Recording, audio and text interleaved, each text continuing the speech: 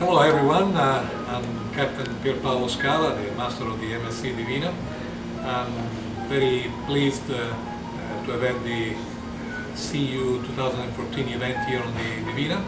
I really hope that you had a, a great time, that you enjoyed our uh, service, our uh, hospitality, and we look forward to see you in, in the future, who knows. So once again, farewell and thank you for being with us.